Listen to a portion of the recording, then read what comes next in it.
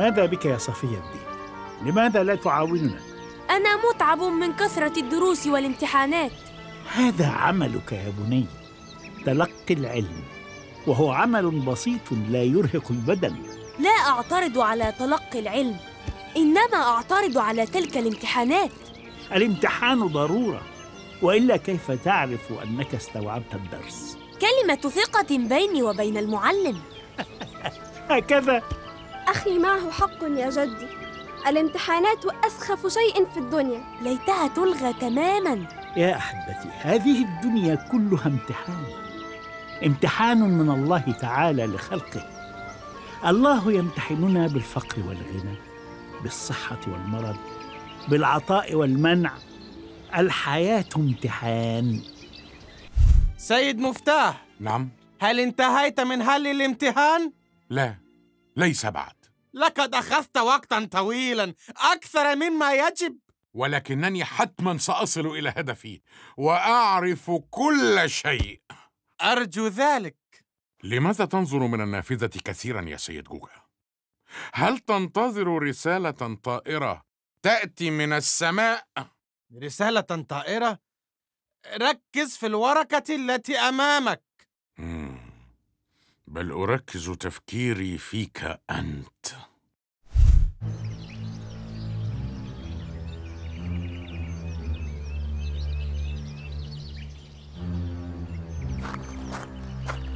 سيدي الأمير التصويب بالسهام أكثر دقة وأليق بسموك.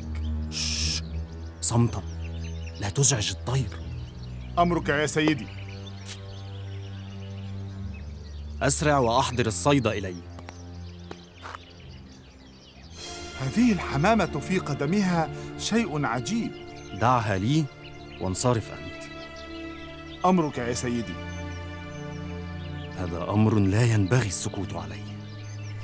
هل أنت متأكد يا سيدي الأمير أنك اصطدت هذه الرسالة اليوم؟ ماذا؟ أقصد اصطدت الحمامة التي تحمل هذه الرسالة اليوم. نعم اليوم. منذ برهة قصيرة. كيف؟ لقد كنت أراقب المعلم جوجا طوال الوقت ولم يبعد عن عيني لحظة واحدة. اذا ليس هو المتهم. كل هذا الوقت ولم تصل إلى نتيجة يا صاحب الشرطة؟ إنني أبحث يا سيدي وأبذل قصارى جهدي والله العظيم. لا أريدك أن تقسم. أريد نتيجة لعملك. بالطبع بالطبع إن شاء الله. كن مطمئنا يا مولاي. أمامك ثلاثة أيام فقط. إما أن تنجح في حل هذه القضية أو أعزلك من عملك. لا أرجوك س س س سوف س إن شاء الله إن شاء الله. أستأذن مولاي. يا حضرة القاضي نحتاج إلى عقلك وحكمتك في هذا الظرف الحرج. أرجوك أن تعيننا.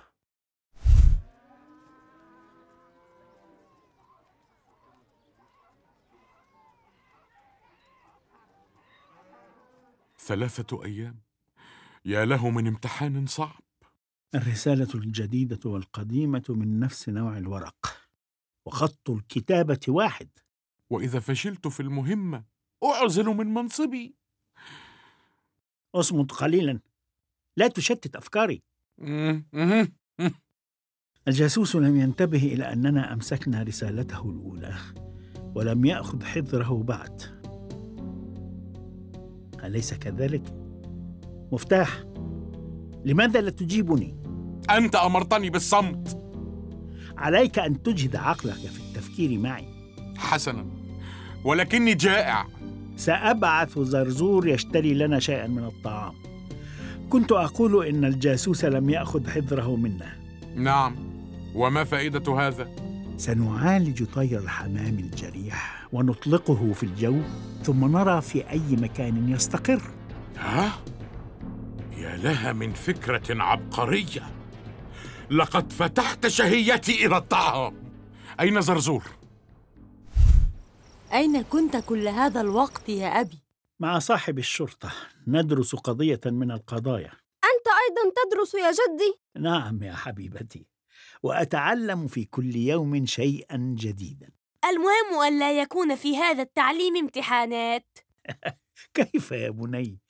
هناك آية في القرآن تذكر الذين امتحن الله قلوبهم بالإيمان. وهناك آية في سورة العنكبوت أتعجب كلما سمعتها. ماذا تقول تلك الآية يا سلمى؟ بسم الله الرحمن الرحيم. ألف لام ميم. أحسب الناس أن يتركوا أن يقولوا آمنا وهم لا يفتنون؟ نعم نعم.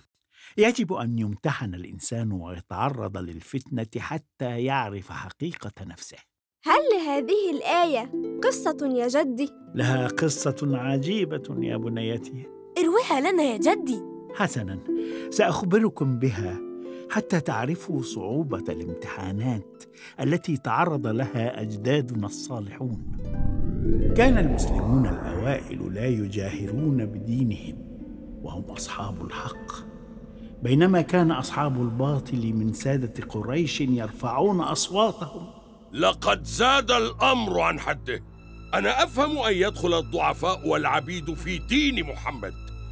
لكن كيف يدخل في دينه إخواتكم يا سادة قريش؟ هدئ من روعك يا أبا الحكم. لن أهدأ. لن أهدأ حتى نقضي على تلك الدعوة بمن فيها يا حارث. لا تنسى أن بعض من فيها إخوتنا. وما ذنبنا أنك لم تحسن تربية أخيك يا عمرو بن العاص؟ ليس هشام وحده من دخل في الإسلام يا أخي. هناك الوليد شقيق خالد بن الوليد. وأخوكما أنتما أيضا. ماذا تقول؟ نعم أخوك من أمك عياش بن أبي ربيعة. آمن بمحمد مع أوائل المسلمين. لا أصدق ما أسمع. أخي عياش ينضم إلى السفهاء الذين يطلقون علي لقب أبي جهل. هشام هشام السلام عليك يا أخي. وعليك السلام ورحمة الله وبركاته. خفت ألا تقدر على المجيء يا عياش. الحمد لله. أظنهم لم ينتبهوا لإسلامي بعد أواثق أنت؟ نعم لم أبلغ إلا أمي ولا أظنها تفضحني أو تعرضني للإيذاء لا تنسى أنها ما زالت على الشرك ها؟ لا تؤاخذني هذه هي الحقيقة للأسف المهم كيف سنهرب من مكة؟ لقد اتفقت مع أخينا عمر بن الخطاب على أن نهاجر نحن الثلاثة معا إن شاء الله متى؟ وكيف؟ سأخرج في فجر الغد ونلتقي عند غدير بني غفار. وإذا لم أتمكن من مغافلتهم. قال لي عمر بن الخطاب من يتخلف عن الحضور فقد حبس وعلى صاحبيه أن يمضيا ويتركاه.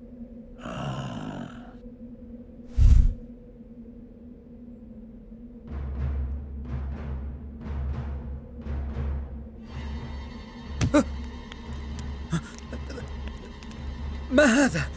من أنتم؟ هل عرفتني الآن؟ أخي عمرو كنت أتريض قليلا. و... و... هل يدعوك دينك للكذب؟ لا والله أستغفر الله العظيم إلى أين كنت ذاهبا؟ أفر منكم بديني وآخرتي لا أريد منكم شيئا قل لي إلى أين كنت ذاهبا؟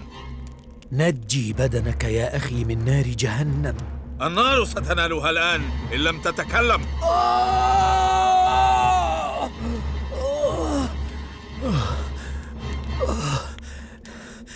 كنت ذاهبا إلى يثرب.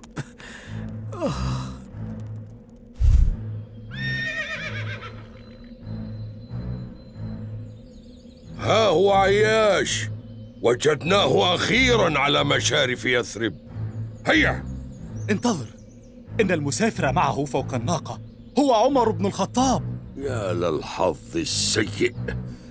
إن عشرة رجال لا يستطيعون مواجهة ابن الخطاب وحده. ما العمل؟ ليس أمامنا إلا الحيلة يا أبا الحكم. يا عياش لماذا فعلت ذلك؟ أهكذا تخرج من دارك خلسة؟ أتخاف أحدا وأنت سيد قومك. ومن ينال منك في وجودنا؟ لقد أخذت قراري وانتهى الأمر. سأهاجر إلى الله ورسوله. أمك المسكينة قد نظرت ألا يمس رأسها مشط حتى تراك. أمي. بل وأقسمت ألا تستظل من الشمس حتى تراك. ويلي ويلي إذا كنت السبب في هلاك أمي. قال له عمر بن الخطاب يا عياش إن هؤلاء القوم يكذبون ليفتنوك عن دينك فاحذرهم. ألم تسمع ما قاله أخي الأكبر؟ لقد أقسمت أمك يا عياش. قال عمر بن الخطاب والله لو آذى القمل رأس أمك لم تشطت ولو اشتد عليها حر مكة لاستظلت. سامحني يا ابن الخطاب علي أن أبر قسم أمي. لقد أوصانا الرسول صلى الله عليه وسلم بالأمهات خيرا كما أن لي مالا هناك سأعود وأخذه. قال ابن الخطاب والله إنك لتعلم أني لمن أكثر أهل قريش مال فلك نصف مالي ولا تذهب معهما. شكرا لك يا ابن الخطاب ولكنهما أخواي ولن يؤذياني أبدا. فاطمئن. هبط عمر بن الخطاب عن ناقته وقال خذ ناقتي هذه فإنها سريعة وطيعة. إلزم ظهرها وإن رأيت من القوم ما يريب انجو عليها.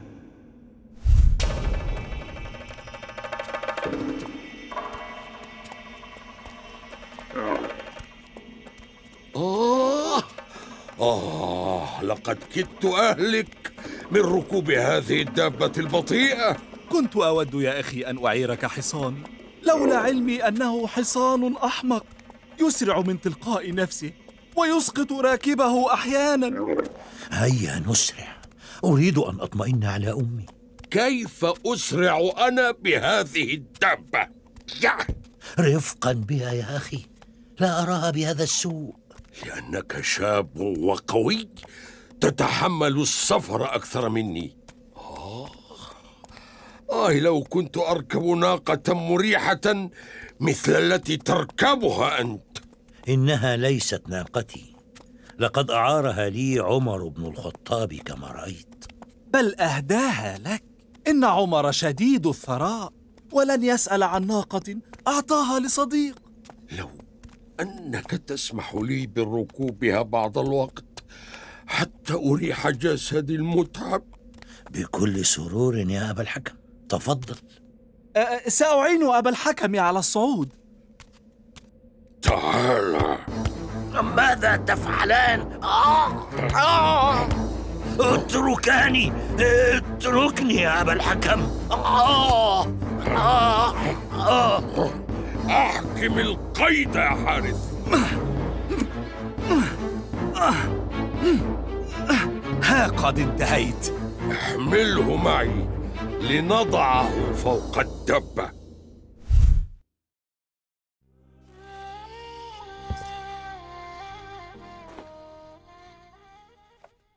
بسم الله الرحمن الرحيم. ألف لام ميم. أحسب الناس أن يتركوا أن يقولوا آمنا وهم لا يفتنون. صدق الله العظيم. لماذا لم يستمع عياش لنصيحة صاحبه عمر بن الخطاب؟ معك حق يا صفاء. لقد أخطأ عندما وضع ثقته في من لا يستحق. لكنهم كانوا إخوته وأهله يا جدي. هؤلاء الإخوة والأهل كانوا يعذبون من يخرج عن دينهم حتى من أهلهم.